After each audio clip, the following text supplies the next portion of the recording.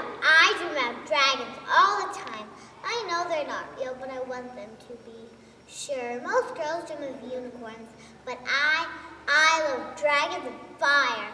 I want to ride my dreams to the night sky, fly over the moon.